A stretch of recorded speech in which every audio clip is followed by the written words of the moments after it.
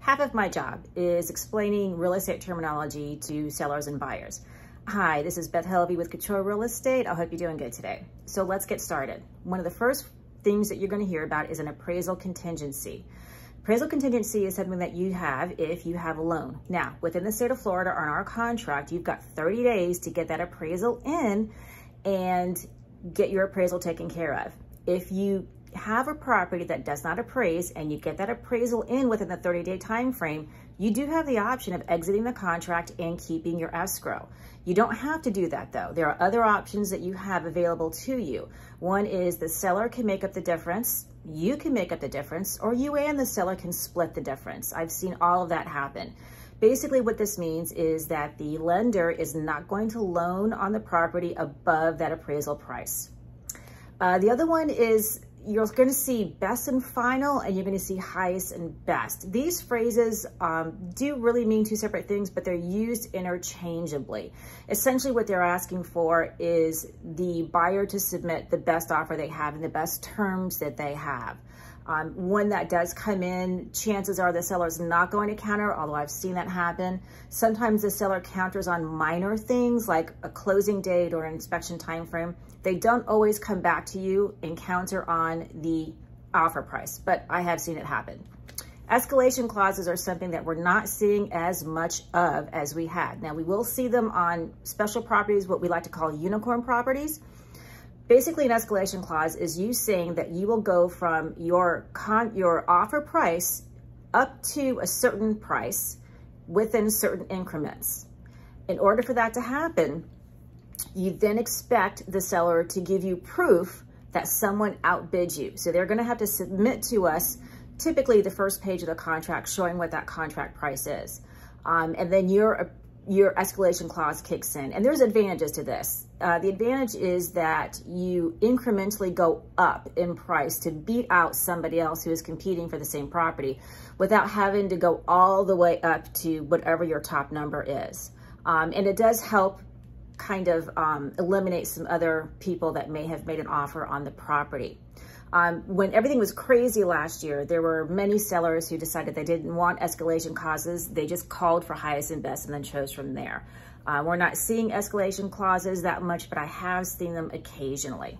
Um, a bridge loan. A bridge loan is a short-term loan that you can get where you're basically borrowing on the house that you currently own in order to pay for the house that you're going to buy. And then when you sell the house that you currently own, it pays back that bridge loan but it helps you get into the property you want to buy if you don't want to take out a loan or if you just don't have all the cash. Um, I don't see a whole lot of bridge loans. I do see them occasionally, um, but we really just don't see that very much. There's other options you have if you uh, don't want to take out a loan or if you um, need the extra cash and you can't sell your house or you're still living in your house. There's other options. Um, your debt to income ratio is simple. It's how much money you owe versus how much money you have coming in. This includes things like student loans, car loans, um, any rent you might be paying, uh, all of your credit card bills. Um, if you're paying child support, that counts as a debt. If you're getting alimony, that counts as income. Um, it includes all of that. And what they're looking for is that your debt to income ratio is balanced enough or balanced well enough that when you take on an extra debt, such as buying a house, you can pay for it. And that's something that is looked at and studied when you apply for a loan. Your earnest money deposit is what we like to call your skin in the game. So in the state of Florida, when you go under contract, you have up to three days to deposit your earnest money, and that is a negotiable amount. There really isn't a standard that we see. Of course, the higher the price point that you're purchasing, the higher your escrow money is. Um, and there is an option for a secondary escrow deposit. Some people will deposit a second amount after the inspection time frame is over. That is your skin in the game. That basically means that if you walk away from the contract, you are giving up that money. The only exception to that is if you are getting a loan and your property doesn't appraise.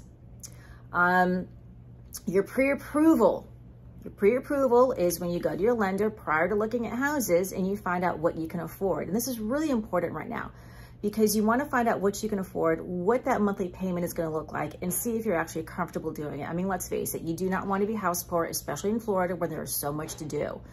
Um, so the pre-approval is really something that you want to get done. And, and I encourage all of my buyers to do that before we go out looking. It's different than a pre-qualification letter. A pre-qualification letter is not as in-depth as a pre-approval. It's basically a fill in the blank. So you want to make sure you get the pre-approval and not the pre-qualification. Private mortgage insurance is something that you're going to find if you have a loan. Now, if you deposit 20% or more on your loan, then you will not have to have private mortgage insurance.